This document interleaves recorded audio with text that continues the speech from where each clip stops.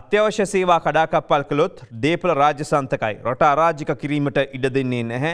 එජාපේ සභහපති වජර අභේවාතන මහතා කියනවා ජාත්‍යන්තර මූල්‍ය අරමුදලේ සහයෝගය ලබා ගැනීමට සාකච්ඡා අවසන් අදිරට පැමිණ එහි සහය ලැබීමේ තීරණාත්මක මොහොතක වැඩවර්ජනය සිදු කල්ලා මේ කටයුතු අඩාල කිරීමට යාම සම්බන්ධය තමයි විරොත්තා පලු කරන්නේ.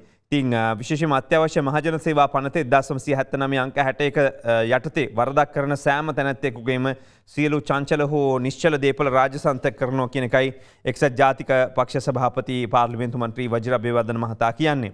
මහජන සේවා පනත යටතේ වරදක් කරන තැනැත්තෙකු නඩු විභාගයකින් වරද කරනු කරනු ලැබූ විට අවුරුදු දෙකකට නොවඩු අවුරුදු පහක් නොෙක්මන්නා වූ කාලයකට බරපතල වැඩ ඇතිව බන්ධනාගාර ගත කරනු ලැබීමට හෝ රුපියල් දෙදහකට නොවඩු රුපියල් පන්දහසක් නොෙක්මන්නා වූ දඩයකට බන්ධනාගාර ගත කිරීමට පුළුවන් කියන එක තමයි ඔහු කියන්නේ.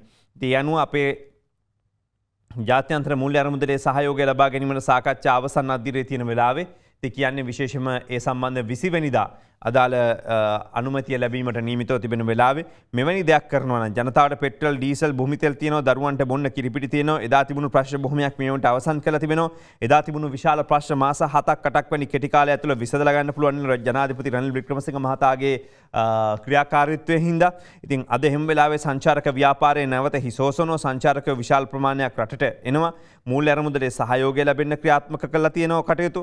ඉතින් එහෙම වෙද්දී මේ නිදහස තුල ක්‍රියාත්මක ක්‍රියාත්මක වෙලා යම් කිසි පිරිසක් මේ විරෝධය මේ විදිහට අවභාවිතා කරනවා නම් කර යුතු දේවල් තමයි කියන්නේ එක්සත් ජාතික පක්ෂ රජයක් යටතේ ඉතිහාසයේ වගේ දේවල් වෙලා තියෙන හින්දා එතුමලා මං හිතන්නේ ඒ ගැන වැඩි හිතන්නේ නැහැ කියන එක වෙන්නේ නැති මේ කියලා තියෙන්නේ. ඉතින් එහෙම වුණොත් දැන් කොහොමත් රාජ්‍ය අංශයේත් අඩු කරන්න බලාපොරොත්තු වෙන්නේ ඉන්නේ රාජ්‍ය සේවකයෝ බරක් කියලා කියන වෙලාවක බොහොම පහසුවෙන් ඉවත් කරන්න පුළුවන් කියලා හිතනවද වජිරබේවදන මහත්මයා? ඔහුගේ ප්‍රකාශයත් එක්ක ඒක එක්තරා ආකාරයක තරවටුවක් වගේ පේන්න තියෙනවා කියලා කිව්වත් නිවැරදි.